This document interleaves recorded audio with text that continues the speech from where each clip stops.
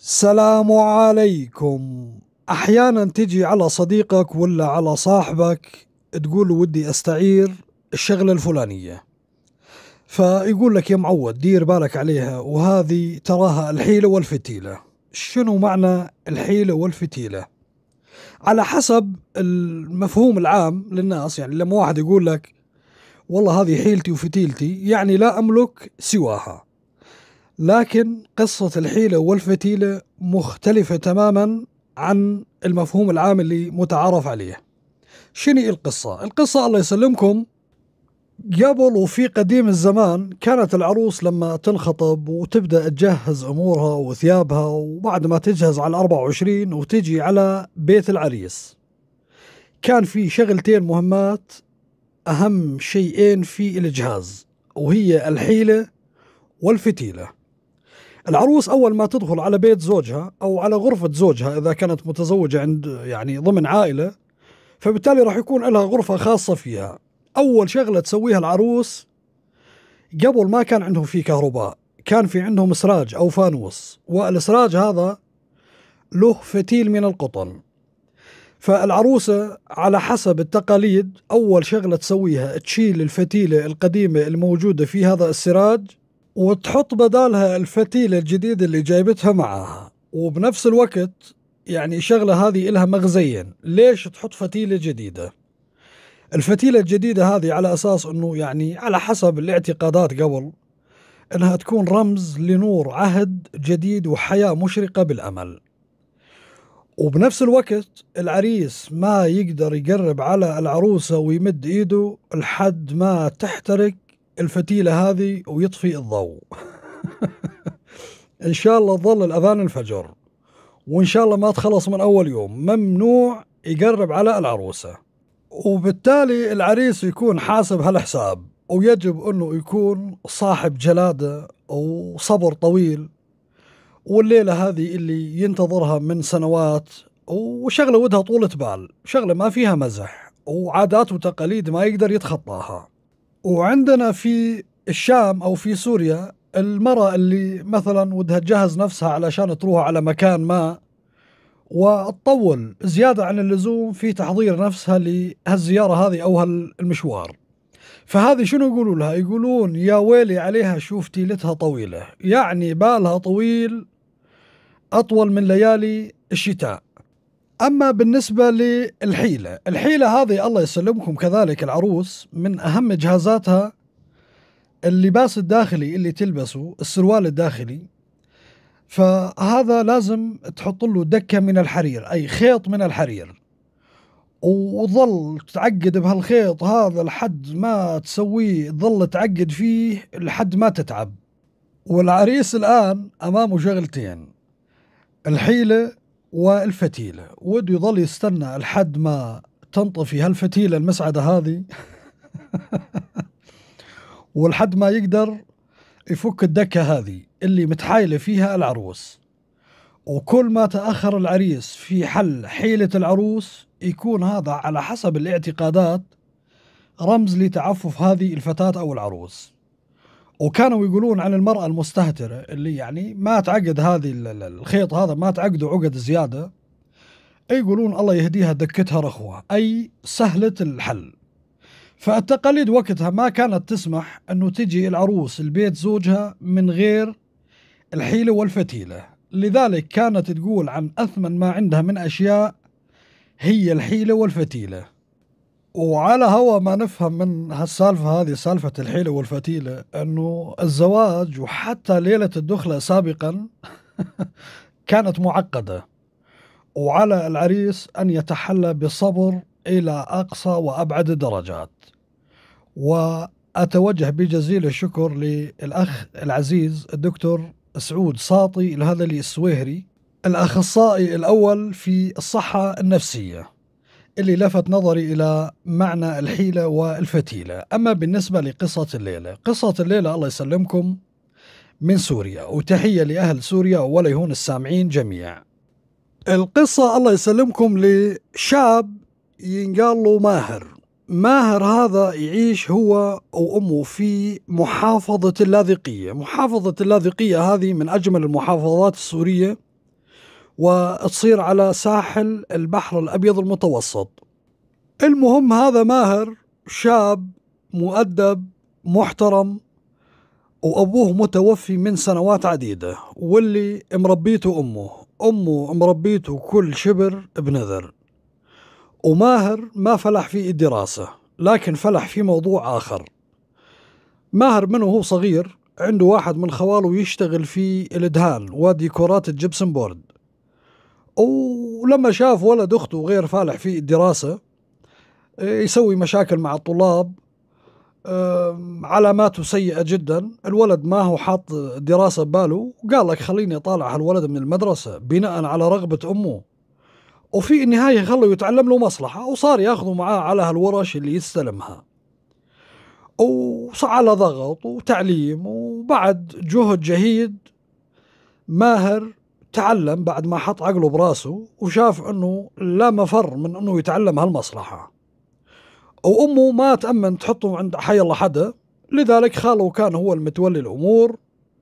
وفعلا بعد فترة من الزمن صار ماهر من أمهر الدهانين ومعلمين الديكورات والجبسن بورد. وصار يشتغل مع خاله.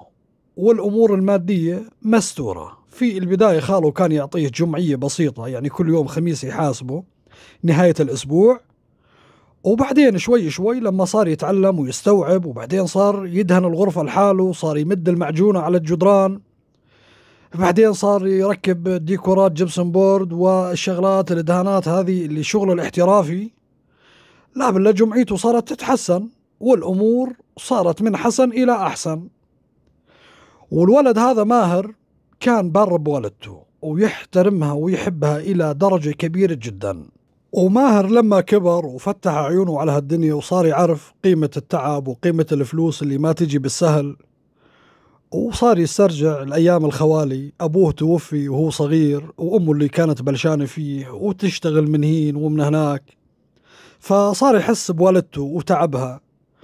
والدته عندها روماتيزم في الركب عندها بعض الأمراض لأنها شقيت وتعبت لحد ما صار وتصور وصار لحي وشوارب. لذلك كان ماهر يحب والدته ويعتني فيها ويداريها حتى ثيابها ما يخليها تغسلها على الرغم أن هي قادرة على غسيل الثياب.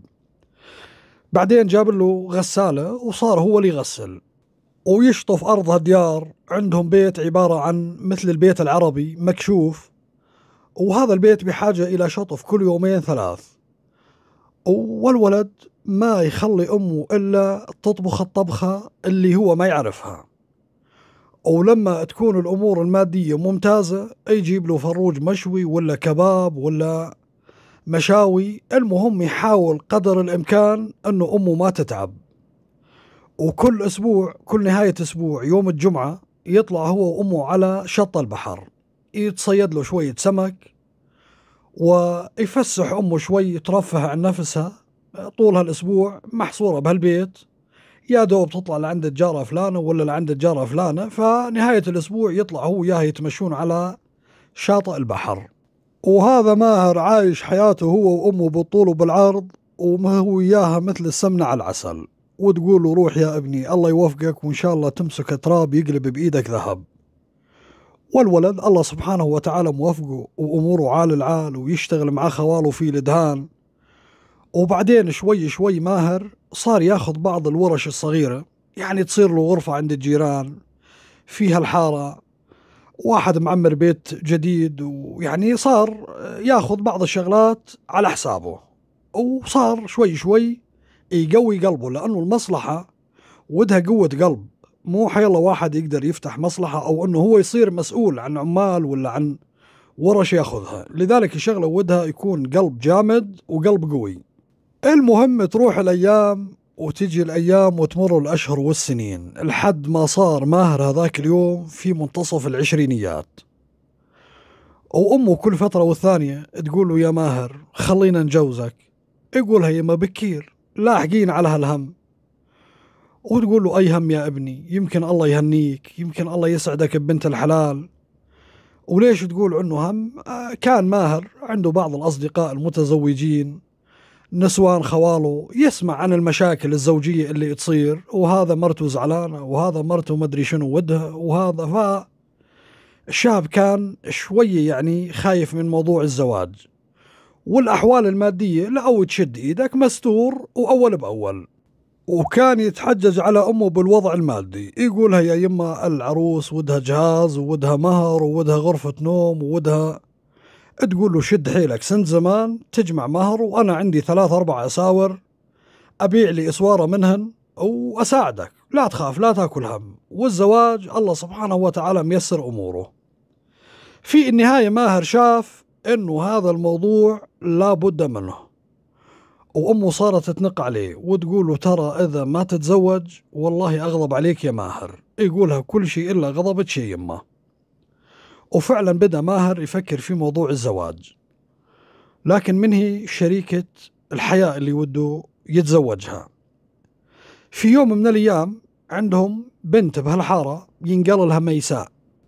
ميساء هذه العيون خضر والشعر أشقر والخصر ضامر وبنت تطير العقل وشافها هذاك اليوم ماهر أعجب فيها وطار عقله. ولما أمه تضغط عليه في موضوع الزواج قال هذه هي زوجة المستقبل. لكن الشاب هذا بحياته ما سوى علاقة مع بنت ولا سولف مع بنت يستحي من النسوان وما عنده هالسوالف ما يعرف غير أمه وخالاته.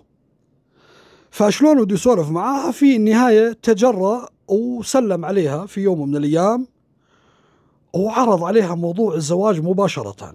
قال لها يا ميساء أنا عارض عليك الزواج ودي أطلبك على سنة الله ورسوله. شو تقولين؟ البنت حطت راسها بالأرض وصارت تضحك وتركته ومشت.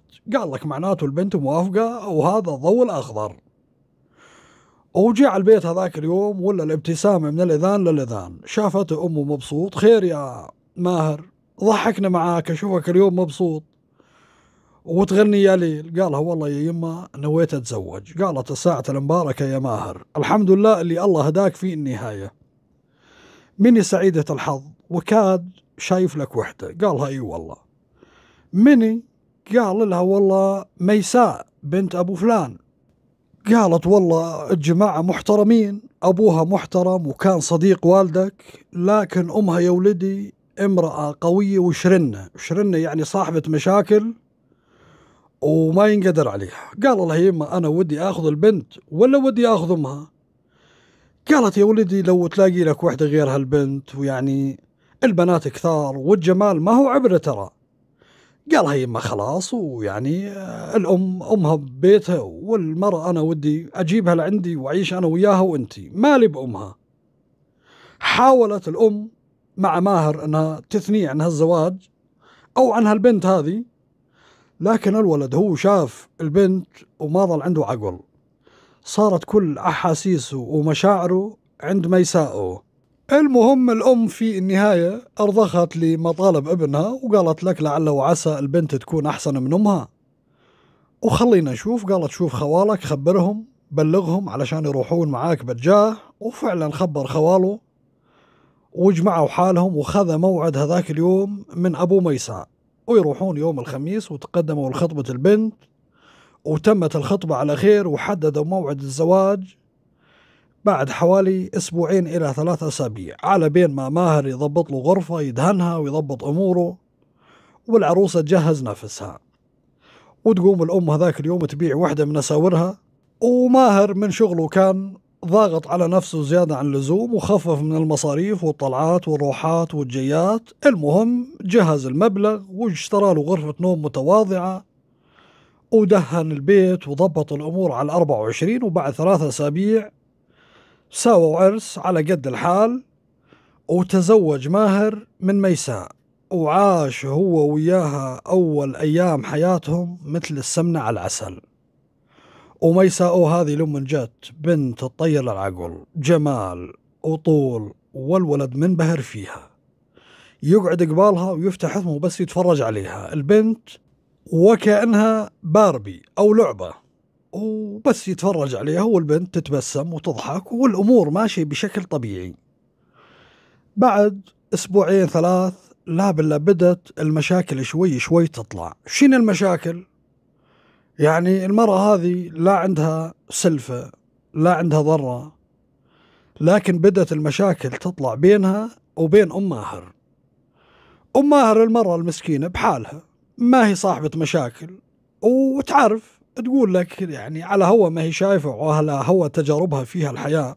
فتعرف الكنة تتضايق من أي ملاحظة من حماتها أو أي كلمة أو أي تدخل إن كان بقصد ولا بغير قصد. لذلك أم ماهر كانت تختصر كل شيء. وما تعلم على البنت والبنت ما شاء الله عليها أمورها كويسة تطبخ وتنظف وتغسل وأمورها كويسة يعني. لكن البنت بدأت شوي شوي لما يجي ماهر تال النهار من الشغل يا ماهر والله اليوم أمك قالت لي كذا وأمك قاعدة تعطيني أوامر وأمك مو معجبها طبخي وأمك مو معجبها شغلي. عاد العجوز هذه ام ماهر ما تقرب عليها ولا تقولها يا مايلي اعتدلي ولا تقولها هذا بشنو؟ لكن المرأة هذه حقدت على أم ماهر بدون أي سبب وشايفة أنه أم ماهر هي سبب تعاستها وصارت كل يوم تمسك ماهر يا ماهر أمك قالت يا ماهر أمك سوت يا ماهر أمك يا يقولها يا بنت الناس خافي يلا. أمي ما هي من هالنسوان اللي تنق واللي تسوي مشاكل واللي ما يعجبها عجب. أمي والله لو تجيبي لها خبز وبصلة رضيانة ما عندها مشكلة. تقولوا لا أنت ما تدري. أنت مسكين وتطلع من الصبح على شغلك ما تدري شنو اللي يصير. أمك بعد ما تطلع تقلب امرأة ثانية. لا تخليني أنام لا تخليني آكل على كيفي لا تخليني أقعد على كيفي. مسود عيشتي. وأنا لساتني عروسة جديدة يا ماهر ما خلتني أتهنى حتى بشهر العسل. لكن أنا من البداية ما حبيت أقول لك وأوجع راسك وقلت يمكن هالعجوز الله يهداها. لكن أنا شايف يا ماهر إذا الأوضاع ظلت على حالها والعجوز هذه متسلطة علي أنا لا يمكن أنه تستمر هالحياة بهذا الشكل. يقولها يا بنت الناس طولي بالك وعيب عليك وهذه أمي. شلون أنت قاعد تسولف؟ أمي يعني أنت قاعد تسولفين سوالف؟ ما أنزل الله بها من سلطان. وأمي ما عندها هالأطباع هذه يا بنت الناس. يجي يمسك أمه. الولد في البداية كان خجلان من أمه يعني. شلون بده يجي فاتحها بهالموضوع؟ ففي يوم من الأيام أمه شافته متعكر مزاجه والبنت كانت في زيارة عند أهلها. فقالت خير يا ابني يا ماهر شنو موضوعك؟ أشوفك منت مبسوط. خير. في مشاكل بينك وبين زوجتك؟ قال لها والله يما صراحة المشاكل ما هو بيني وبين زوجتي وأنا لي طلب عندك يا يما ابشر بعزك يا يما شنو ودك؟ قال لها يعني البنت هذه توها جاية جديد على البيت وما صار لها أبو كم شهر. وتعرفين عروس جديدة ودها يعني تتأخر بالنوم شوي. يمكن الطبخة اللي تطبخها ما تعجبك. يمكن متعودة على غير عادات لكن شوي شوي مع مرور الوقت راح تتطبع بطبعنا وتتعود على عاداتنا لكن هي شغلة ودها طولة بال وودها صبر. وأنا ولدش الوحيد وأنت اللي نقيتي علي وقلتي لي تزوج. قالت يا ولدي أنت شنو قاعد تسولف؟ ليش أنا شنو مسويت لها؟ أنا يعني البنت انت تطلع من هنا وهي ترجع تحط راسها وتنام ما تقعد للظهر. وبهالوقت يا وليدي أنا أكون نظفت وشطفت وقاعدة أحضر للغداء والخانم هذه توها صاحي من النوم. ابدا ياذن الظهر وهي تطلع من غرفة النوم. أنت شنو قاعد تسولف يا ماهر؟ يا يمه معقولة؟ قالت معقولة وستين معقولة. تصدق مرتك وما تصدقني؟ قالها لا يما مو مو قصة انه مكذبك لا سمح الله. بس الصراحة يمكن أنا سمعان بالغلط أو سامحيني يا يما. أرجوك إنك تسامحيني. قالت يا ولدي النسوان بلاويهن كثار واللي ما يكون قد حاله ويفتح عيونه ترى يوهر فنه بستين داهية. لذلك يا وليدي ودك تدير بالك وأنا نصحتك عن البنت هذه لكن أنت ما رديت علي الله يهداك. البنت هذه طالع لأمها أمها قوية والمثل يقول طب تجرع تمه بتطلع البنت لأمها وأنت الله يصلحك ويهداك لكن الآن خلاص الفاس وقع بالراس ودنا نداري هالبنت ويعني نحاول قدر الإمكان نستوعبها. لكن أنا لي طلب عندك يا ماهر. اطلبي وتمني يا يما. قالت يعني أتمنى أنك ما تجيب سيره لزوجتك إني سولفتك هالسوالف وخلي السالفه بيني وبينك. والآن وصلتك الصورة. وأنا لك علي ماهر ما أقرب عليها ولا أقولها ليش نايمة وليش قاعدة وأنا أصلا ما قلت لها. لكن شوفت عينك أنا تعبانة وصرت أعاني يعني من الألم في الركب ويلا شايلة حالي وتخبر أنت قبل اللي كنت تشطف وأنت اللي تنظف وأنت اللي تغسل. وبعد ما تزوجت أنا اللي صرت أسوي الشغل هذا. وما حبيت أوجع راسك من وأنت عريس من الأيام الأولى. وأقول لعل وعسى هالمرة تنصلح. المهم ماهر لما سمع سوالف أمه وما عنده شك بولا كلمة قالتها أمه. قال لك المرة هذه قاعدة تلعب علي وودها تساوي فتنة بيني وبين أمي اللي ما لها غيري بهالدنيا. يعني في النهاية وين ودي أرمي أمي؟ والله أرمي نساوين الدنيا كلها ولا أرمي أمي. المهم هذاك اليوم بعد ما جت زيارة من أهلها ويمسكها ومو عيب عليك وأنا شفت أمي هي اللي تشتغل وهي اللي تنظف وأنا ترى صار لي فترة من الزمن أعرف. وأقول لعل وعسى أنك تستحين على حالك وتخجلين على طولك. يخرب بيتك طولك طول الحورة. وعقلك عقل الصخلة وحاطة عقلك بعقل أمي هذه اللي خلفتني وربتني وتعبت عليها سنين وآخرتها. أمي تشتغل خدامة عندك؟ يلي ما تستحين المهم غسلها تغسيل. البنت عرفانة شنو قاعدة تسوي وفعلا أم ماهر هي اللي قايمة بالشغل كله. وهذه ميساء مفكرة حالها أميرة وأم ماهر خدامة عندها. ما تصحى الأذان الظهر. وعلى بين ما تمطط وعلى بين ما تصلح مكياجها وعلى بين ما تسوي لها الدوش يكون أذن العصر. واللي ضرب ضرب واللي هرب هرب. وعلى قولة المثل اللي شرحناه في البداية الظاهر أنه ميسا أو هذه فتيلتها طويلة ودكتها رخوة. المهم تروح الأيام وتجي الأيام وماهر من الصبح على الشغل ويرجع بعد أذان المغرب. وصارت المصاريف تزيد شوي وكل فترة والثانية يسأل أمه هاي يمه شلون البنت معاك تقول له ها يعني شبه إنها تعدلت شوي لكن ما هو بالشكل المطلوب. ومعلش يا وليدي طول بالك. لكن البنت ميساء صارت تفتعل المشاكل مع حماتها وصارت كل أسبوع زمان عشرة أيام تضب بأجة ثيابها وعلى بيت أهلها. خير يا ميساء تقول حماتي حماتي ضربتني وحماتي طردتني وحماتي مدري شنو. وتفزع أم ميساء على ام ماهر ويلي ما تستحين وعيب عليك. والبنت هذه فكرتها خدامة وليش أنت شنو ناقصك؟ ويطلع صياح النساوين بالحارة. ويتفزع نساوين الحارة الفهمانات يفكن بيناتهن وعيب عليك يا أم ميساء والمرة كبيرة ومريضة. ويحاولون قدر الإمكان يهدون الوضع. وياما فزعان ماهر من الشغل يترك الشغل يترك الدهان ويرجع على البيت يفك بين أمه وبين زوجته. لكن الأمور في النهاية وصلت حدها. وفي يوم من الأيام ميساء مسكت ماهر وقالت يا أنا بهالبيت يا أمك بهالبيت. وماهر المشكلة يحب البنت هذه وميت فيها. والآن صار بين نارين بين نار حب زوجته الجميلة هذه وبين نار أمه وغضب الوالدين وأمه بنفس الوقت ما تشتكي له لكن هو قاعد يشوف بنفسه وصار يسمع السوالف من الجيران وأبناء الحارة ويا ماهر و... فالرجال ما عاد يعرف شنو بده يساوي لكن في النهاية قالت يا أنا يا أمك واختار يا أما طالعني أقعد ببيت لحالي وأخليك تعيش سلطان زمانك. قال لها يا بنت الناس هو أنا شغلي يلا مكفيني مصاريف ومكياجات وعطورات لحضرتك ولقمة هالأكل اللي ناكلها. أنا أقدر أفتح بيت ثاني؟ وأمي هذه وين أتركها؟ قالت والله هذا اللي جاك يا ماهر وهذا اللي عندي وتضب ثيابها وتزعل على بيت أهلها. وماهر قالها درب تسد ما ترد.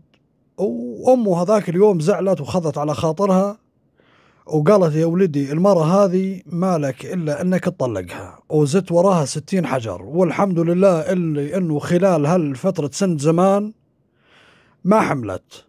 طلقها يا ولدي وأخلص منها. والله لا أزوجك ست ستة. وأزوجك أجمل بنت بهالحارة. وبعدين يا ولدي هذه المرة اللي شايفها كل نهار على حمرة ومكياج ومدري شنو وغنج ودلال. وفلوسك كلها رايحة حق عطورات وثياب وهدايا. المرة هذه ما منها فايدة يا ولدي. قالها يما عيني خير وهذه زعلة راح أسوي لها فركة إذن. وبالعادة لما كانت تزعل ميساء عند أهلها أبو يوم يومين يروح ماهر يروح يرضيها ويجيبها على البيت.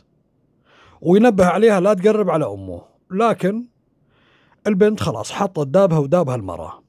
لكن في المرة الأخيرة أو الزعلة الأخيرة هذه أم ماهر استنفرت وقالت المرة هذه ما عاد لها رجع لعندي على البيت يا ماهر. تفهم ولا ما تفهم؟ قال لها لي ودك شاي يا يمه.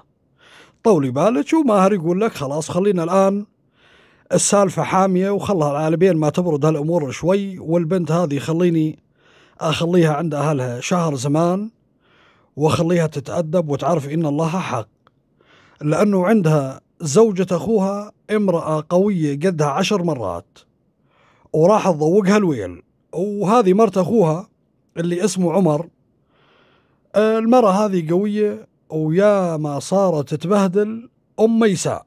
وتغلط عليها بالكلام. ولا وبعض الأحيان صارت تمد إيدها عليها. وكما تدين تدان. وأم ميساء تدافع عن بنتها تجاه أم ماهر. يعني ودها بنتها. تطلع وتتستت ببيت لحالها وزوجة ولدها ودها إياها تشتغل خادمة عندها. وهذا الأمر ما يصير. المهم راحت الأيام وجت الأيام أسبوعين زمان عشرين يوم وهذه ميساء تشوف لك ماهر ماله بالعادة يطول كل هالفترة. وصارت تحن بينها وبين حالها. وتقول لك هذا لا يكون وده يتزوج علي وكاد أمه هالحرباية هذه صارت تنق عليه وكاد راح تزوجه وما تعرف حالها شنو ودها تساوي وصارت تعض أصابعها ندامة.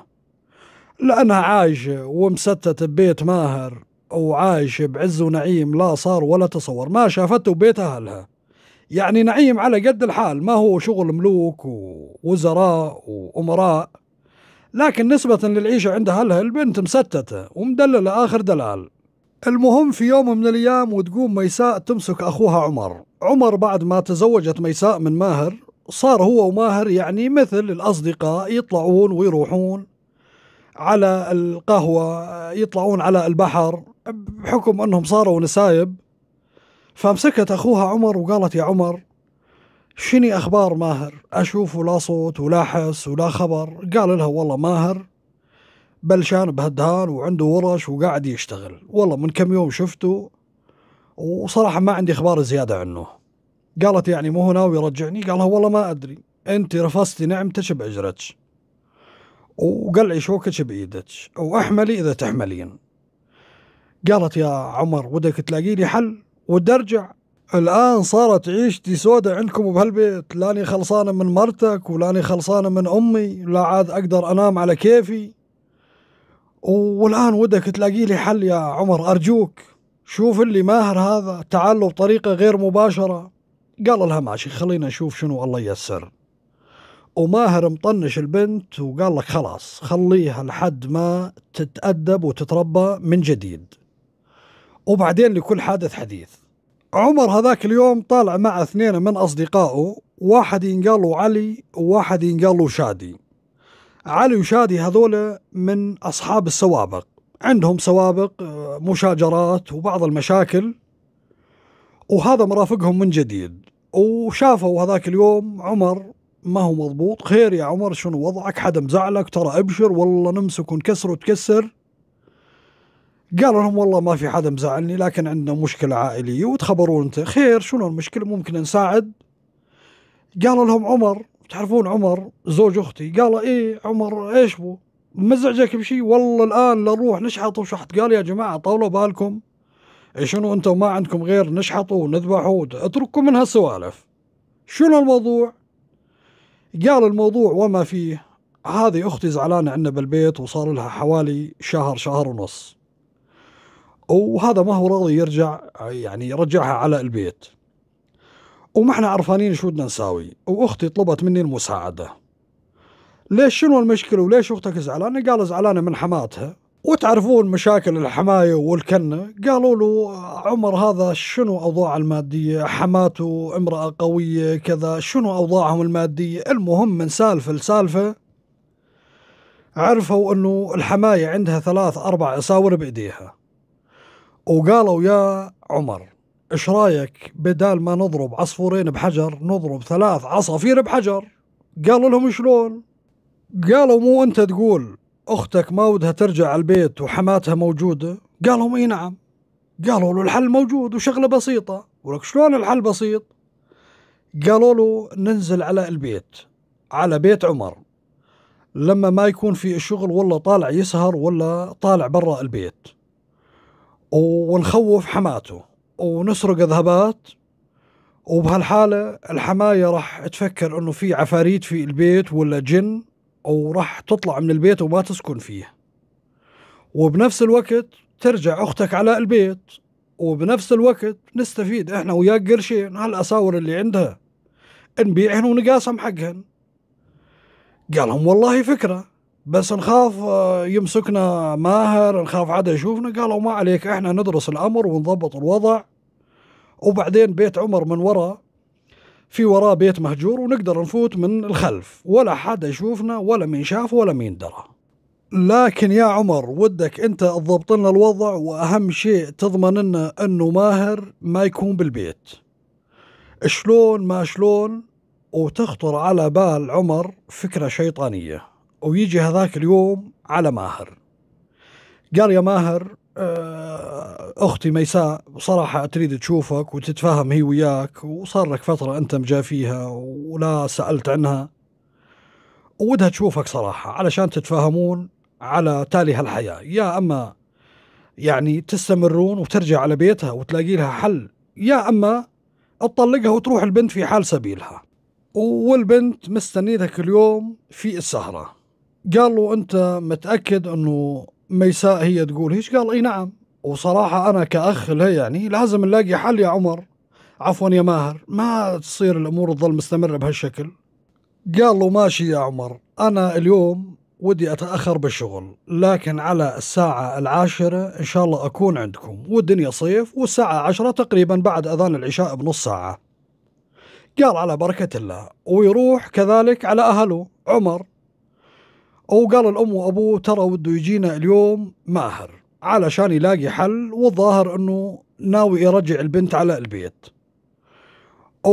أم ميساء هذاك اليوم قومت الدنيا وما قعدتها لا وما يجي وما يفوت بيتنا هاللي ما بيستحي هاللي قال لها يما طولي بالك و... والأمور ما تنحل بهالطريقة والبنت صار لها شهرين قاعدة بوجوهنا. ومشاكل هي وزوجتي وبعدين المرأة ما لها إلا زوجها في النهاية. خلي يجي الرجال ونشوف شنو عنده.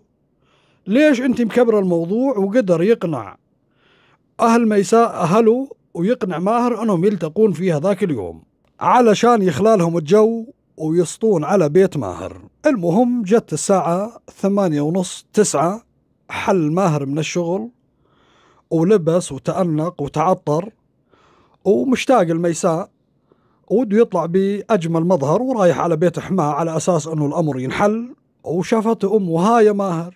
بالعادة ماهر بعد ما زعلت مرته ما يطلع لا على سهرة ولا يروح ولا يجي. وين؟ قال لها والله ودي أروح على أهل ميساء. وميساء يعني ظاهر أنها تعدل عقلها وحطت عقلها براسها ورجعت لصوابها الظاهر. قالت يا ابني يا ماهر ذيلة شلب الله يعزكم حطوه بالقالب أربعين سنة وما تعدل. هذه ميساء ودها تعدل برضاي عليك لا تروح عليها يا ابني. واتركك من هالعائلة هذه وشوف لك بنت حلال غيرها وطلقها. قالها يما الله يهداش طولي بالك. وخلينا نشوف الجماعة شنو عندهم والمرة شنو عندها يمكن تغيرت. المهم ركب ماهر وراح على بيت أحماه وعمر كان يراقبه من خارج البيت براس الشارع واقف له. أول ما دخل على البيت وأمن عليه وكان على اتصال مع أصدقائه. وينزلون هذاك اليوم على بيت أم ماهر. أم ماهر طبعا بهالوقت هذا تحط راسها وتنام تنام بكير وتصحى بكير. يا دوب أم ماهر غفلت شوي إلا ما تسمع صوت حركة في البيت قامت المرة تشوف شنو اللي صاير. منو في البيت؟ تفكر ولدها رجع تفكر حالها إنها صار لها عدة ساعات نايمة تنادي ما حدا يرد عليها شوي ولا تنقطع الكهرباء. بسم الله الرحمن الرحيم وما تحس وتدري إلا واحد ماسك سكين ويحط السكين على رقبتها. وقال لها لا تتحركين ولا تصيحين ولا تصرخين ترى السكين على جوزتك. بمجرد ما تتحركين حركة ولا غلط بسيط ترى جوزتك هذه أشلعها. يا ابني طول بالك من وانت قال لها أشلح الأساور. أي أساور؟ قال لها الأساور اللي بإيدك الحلقات الخواتم يلا بسرعة. المرأة عندها المال يعادل الروح. ويا ابني هذول الحيلة والفتيلة ومخبيتهن للأيام والله يرضى عليك. ومنو أنت وش ودك مني؟ المهم اصدقائه الاثنين جودهم يشلحونها الاساور من إيديها ولابسة حلقات وخاتم. المرأة حاولت تصيح ويقوم واحد منهم يضربها على رأسها من الخلف بعصاية حاملها. وتقع المرأة بالأرض. لا من إيدها ولا من رجلها. ويشلحونها الأساور والخاتم والحلقات وبحبشوا بهالبيت من هين ومن هناك وقشوا الفلوس الموجودة ويا دار ما دخلت شر. وماهر قاعد عند ميساء وميساء تذبل بعيونها ومضبطة حالها على 24 على آخر طراز ومتأملة إنها ترجع هذاك اليوم مع ماهر على البيت. لكن حصل خلاف بين ماهر وبين حماته أم ميساء وقومت الدنيا وما قعدتها في النهاية وصل النقاش بيناتهم إلى الشيطان الرجيم ويطلع ماهر ويخبط الباب وراه ويجي على البيت يضرب أخماس بأسداس ويقول يا ريتني سمعان كلام أمي وماني جاي على هالعائلة ومطلق هالمرأة، لكن صار اللي صار المهم لما جاء على البيت ويلاقي الكهرباء مقطوعة في المنزل، على الرغم الإنارة في الشارع شغالة والكهرباء جاية بالحارة، قال لك يمكن قاطع الساعة أو ال disjoncteur. الرئيسي يمكن نازل يمكن حاصل شورت. وفعلا لما جاء على قاطع الساعة الرئيسي ولا نازل رفع القاطع وقال لك بعد هالمعركة الطويلة والدنيا صيف وحر قال لك خليني آخذ لي شور ودخل على الحمام ولا أمه متمددة بالشور ولا من إيدها ولا من رجلها. عفوا بالبانيو. وأمه مالها بالعادة بهالوقت هذا تصحى وتتحمم. المهم حاول يشيل أمه يشوفها طيبة ولا ميتة أمه لا من إيدها ولا من رجلها. مباشرة اتصل على الإسعاف. حضر الإسعاف تم إسعاف المرأة على المستشفى. لكن أم ماهر كانت متوفية. لكن ماهر ما كان مقتنع بموضوع الوفاة وأمه يعني صار لها سنين عديدة ما تتحمم بالليل. وبهالوقت هذا تكون نايمة. وشنو الموضوع؟ شنو اللي حاصل؟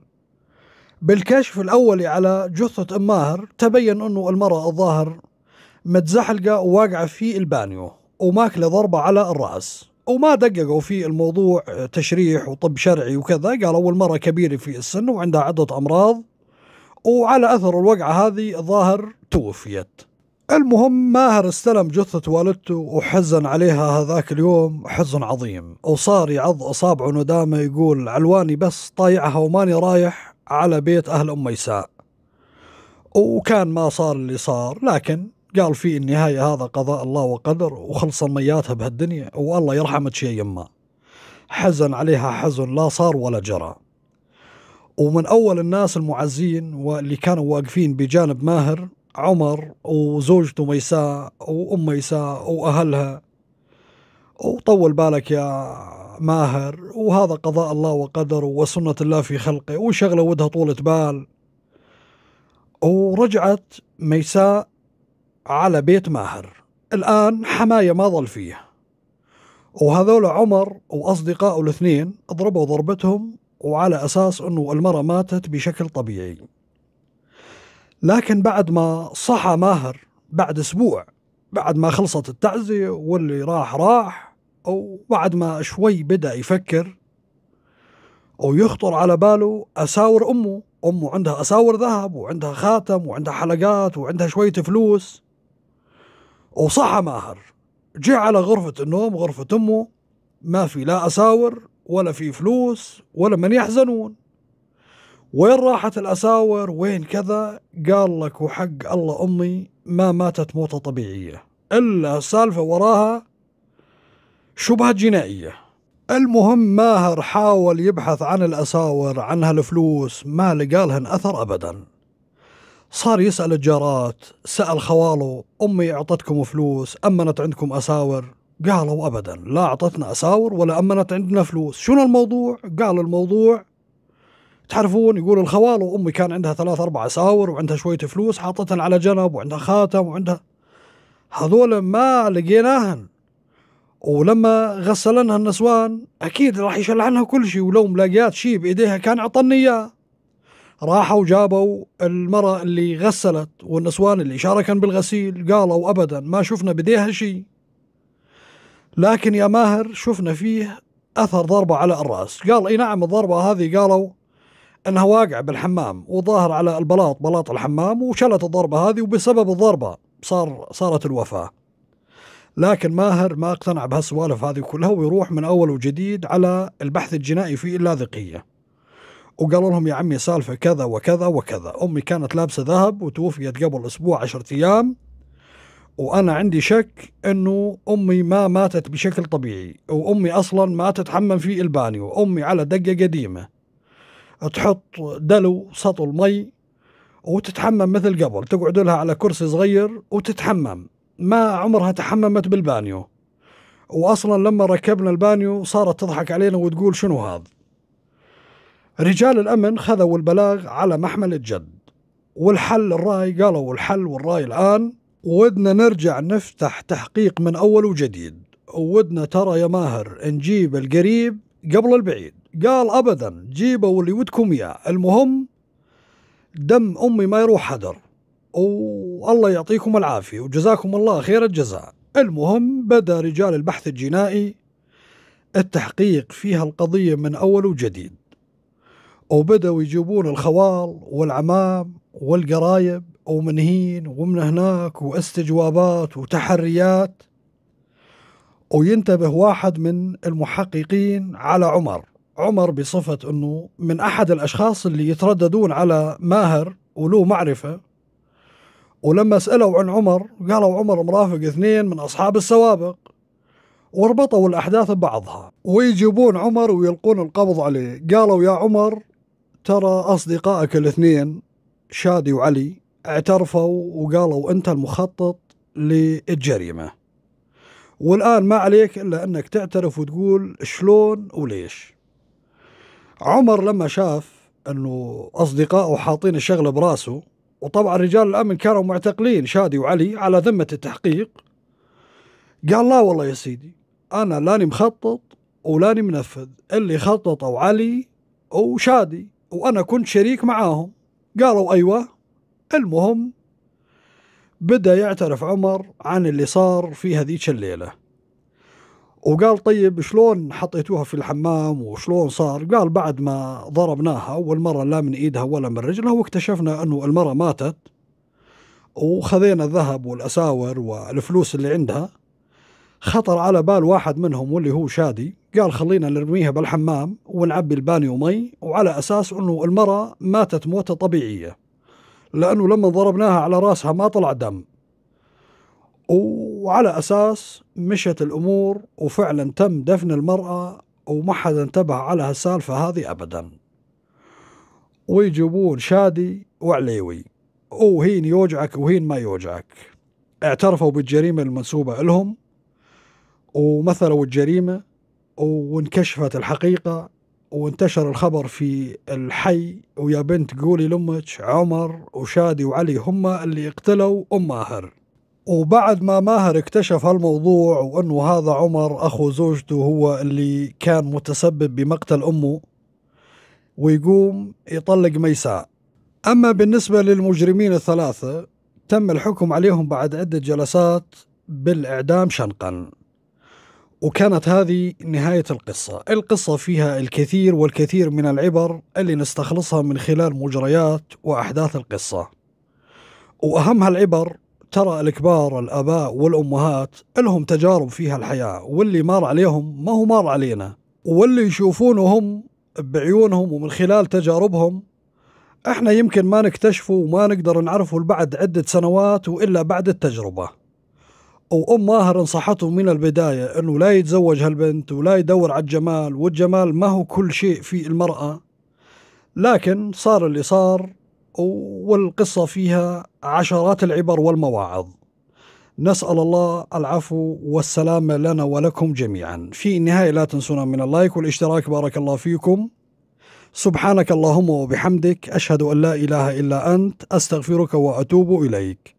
دمتم في رعاية الله. وحفظه